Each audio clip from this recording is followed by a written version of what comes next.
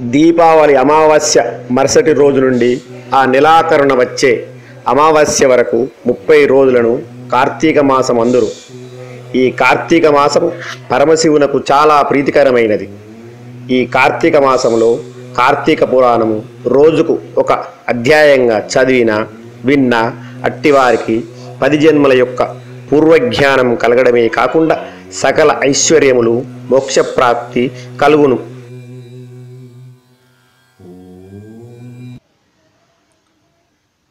ఆరో అధ్యాయము దీపాదాన విధి మహత్యం.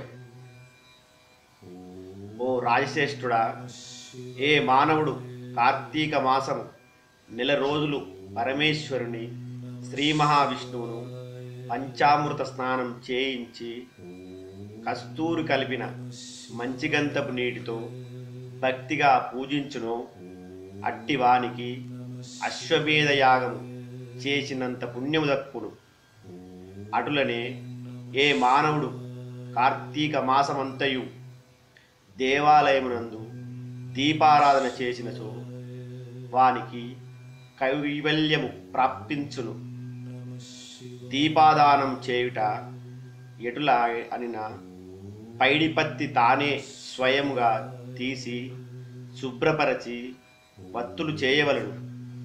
వరిపిండితో గాని గోధుమ పిండితో గాని ప్రమిదవలి చేసి వత్తులు వేసి ఆవు నెయ్యి వేసి దీపం వెలిగించి ఆ ప్రమిదను బ్రాహ్మణకు దానమియ్యవలను. శక్తి కొలది దక్షిణ కూడా ఇవ్వవలను. ఈ ప్రకారంగా కార్తీక మాసమందు ప్రతిదినము చేసి ఆఖరి రోజున వెండితో ప్రమిదను చేయించి బంగారముతో వత్తిని చేయించి ఆవు నెయ్యి నిండుగా పోసి వెనుక చేసిన ప్రకారముగా గోధుమ పిండితో ప్రవిధను చేసి ఆవు నెయ్యి పోసి దీపం వెలిగించి ఈ నెల రోజులు దానము చేసిన బ్రాహ్మణునికే ఇది కూడా దానమిచ్చిన ఎడల సకల ఐశ్వర్యములు కలుగుడేగాక మోక్షప్రాప్తి కలుగును.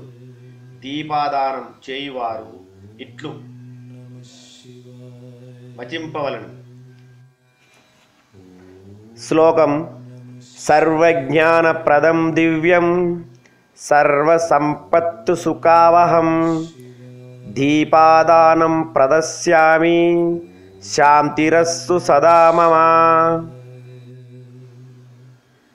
అని సూత్రం చేసి దీపాదానం చేయవలెను.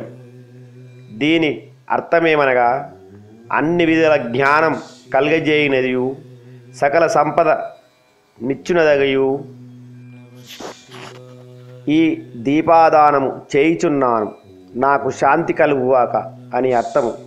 ఈ విధముగా దీపాదానము చేసిన తర్వాత బ్రాహ్మణ సమాధారణ చేయవలను. శక్తి లేని ఎడల పది మంది బ్రాహ్మణులకైనను భోజనమిడి దక్షిణ తాంబూలమునివ్వవలను ఈ విధంగా పురుషులు కానీ స్త్రీలు కానీ ఏ ఒక్కరు చేసినను సిరి సంపదలు విద్యా అభివృద్ధి ఆయురభివృద్ధి కలిగి సుఖింతురు. దీని గురించి ఒక ఇతిహాసం గలలు. దానిని వివరించెదను. నాలకింపుమని వశిష్ఠుడు జనగురితో ఇట్లా చెప్పసాగాను లుబ్ధ వితంతువు సర్గమున కేగుట. పూర్వకాలమున ద్రావిడ దేశమందున ఒక గ్రామము కలదు. అందున ఒక స్త్రీ గలదు. ఆమెకు పెళ్ళి అయిన కులది కాలమునకే భర్త చనిపోయాను. సంతానము గాని ఆఖరికి బంధువులు కానీ ఎవరూ లేరు. అందుచే ఆమె ఇతరుల ఇళ్ళలో దాసీ పని చేయుచు అక్కడనే భుజించుచు ఒకవేళ వారు సంతోషము కొలది ఏమైనా వస్తువులు ఇచ్చిన ఎడల ఆ వస్తువులను ఇతరులకు హెచ్చు ధరలకు అమ్ముకొనుచు ఆ విధముగా తన వద్ద పోగైన సొమ్మును వడ్డీలకు ఇచ్చి మరింత డబ్బును కూడబెట్టుకొనుచు దొంగలు దొంగిలించి తీసుకువచ్చిన వస్తువులను తక్కువ ధరకు కొని ఇతరులకు ఎక్కువ ధరకు అమ్ముకొనుచు సొమ్ము కూడబెట్టుకొనుచుండెను. ఈ విధముగా కూడబెట్టిన ధనమును వడ్డీలకిస్తూ శ్రీమంతుల ఇండ్లలో దాసీపనులు చేస్తూ తన మాటలతో వారిని మంచి చేసుకొని జీవించుచుండెను. ఎంత సంపాదించిననేమి ఆమె ఒక్క దినము కూడా ఉపవాసము గాని దేవుని మనసార ధ్యానించుట గాని చేసి ఎరగదు. పైగా వ్రతములు చేసేవారిని తీర్థయాత్రకై వెళ్ళే వారిని చూచి అవహేళన చేసి ఏ ఒక్క భిక్షగాడినికి పిడికెడు బియ్యము కూడా పెట్టక తాను తినక ధనమును కూడబెట్టుచుండేడిది. ఇటుల కొంతకాలము జరిగాను. ఒక రోజున ఒక బ్రాహ్మణుడు శ్రీరంగములోని శ్రీ రంగనాయకులను సేవించుటకు బయలుదేరి మార్గమధ్యమున ఆ స్త్రీయున్న గ్రామమునకు వచ్చి ఈ దినమున అక్కడనే ఒక సత్రములో మజిలి చేశాను అతడు ఆ గ్రామంలో మంచి చెడ్డలు తెలుసుకొని ఆ పిసినారి స్త్రీకు ఇంగతి కూడా తెలుసుకొని ఆమె కడకు వెళ్ళి అమ్మ నా హితవాచనమును ఆలకింపుము. నీకు కోపం వచ్చినా సరే నేను చెప్పుచున్న మాటలను ఆలకింపుము. మన శరీరము శాశ్వతము కావు. నీటి బుడగలాంటివి ఏ క్షణములో మృత్యువు మనలను తీసుకుపోనుబోవునో ఎవరూ చెప్పలేరు. పంచభూతములు సప్తధాతువులతో నిర్మించబడిన ఈ శరీరములోని ప్రాణము జీవము పోగానే చర్మము మాంసము కుళ్ళి దుర్వాసన కొట్టి అసహ్యముగా తయారగును. అటువంటి ఈ శరీరాన్ని నీవు నిత్యమని భ్రమించుచున్నావు. ఇది అజ్ఞానముతో కూడిన దురాలోచన. తల్లి నీవు బాగా ఆలోచించుకొనుము. అగ్నిని చూచి మిడత దానిని తినేద్దామని భ్రమించి దగ్గరకు వెళ్ళి భస్మగుచున్నది అటులనే మానవుడు కూడా తన తనువు శాశ్వతమని నమ్మి అంధకారములోబడి నశించుచున్నాడు. కాన నా మాట ఆలకించి నీవు తినక ఇతరులకు పెట్టక అన్యాయముగా ఆర్జించిన ధనము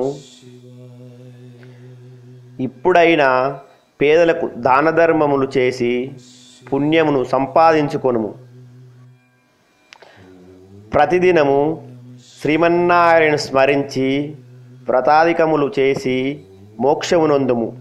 నీ పాప పరిహారార్థముగా వచ్చే కార్తీక మాసమంతయు ప్రాతకాలమున నదీ స్నానం ఆచరించి దానధర్మములు చేసి బ్రాహ్మణులకు భోజనం పెట్టినచో వచ్చే జన్మలో నీవు పుణ్యవతివై సకల సౌభాగ్యములు పొందగలవని ఉపదేశమిచ్చెను.